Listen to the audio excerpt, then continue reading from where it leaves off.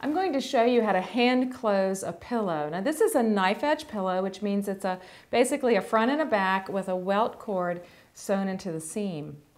So at the top of the pillow, you want to turn down, and you can see I've even pressed down my seam allowance, which was a half inch, and that folds under really neat, and then I can come over and match that up to the welt cord, and I'm going to add a pin. And when I put the pin in, see that sharp point? I'm going to tuck that back into the fabric so it doesn't stick me as I'm sewing. You have to sort of pinch it together and hold it tight. And then add another pin. Put the pins pretty close together so you don't have a gap. And then I'll add one more. So it's pinned across the top. Now I'm ready to sew. I'm going to use a hand quilting thread. I found this to be a great thread to use. It doesn't knot up or gather up. I'm using, I'm going to use a double strand, so I'm starting with a single strand. And I like to use a long needle. If you do quilting, you might prefer to use a short needle, so just use a needle that you're comfortable with the length. And I'm going to bring the two ends together and tie a knot. The double thread will make sure it stays secure. And I'm going to put that around my finger and twirl it off my finger and that gives me a knot in the bottom. So I'm right-handed, so I'm starting over on the right-hand side.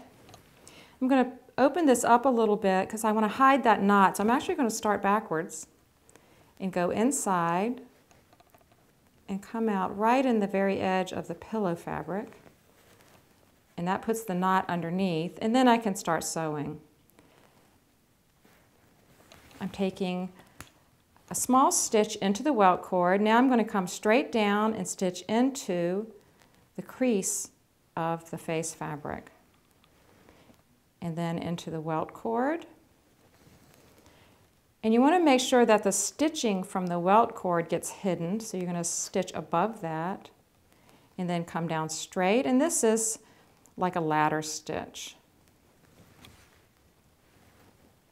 And then into the welt cord.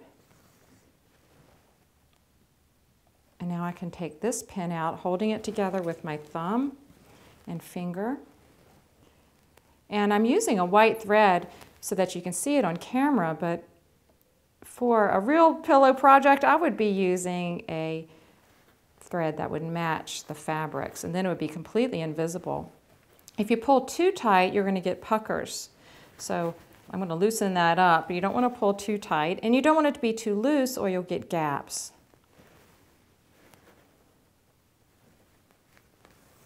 And then you can start speeding up after you get used to sewing and you have a little bit of a rhythm.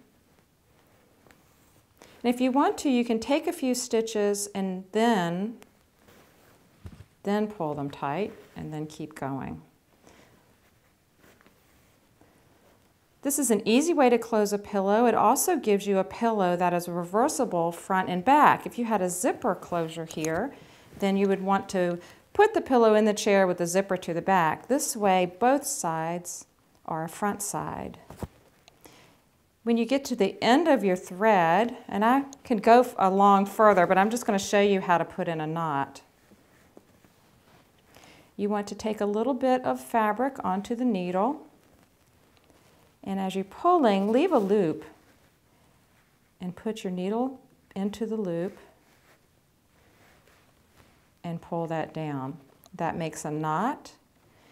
And then stab right next to the knot and go into your welt cord and pull that in, and that'll help hide your knot. And then trim off your thread.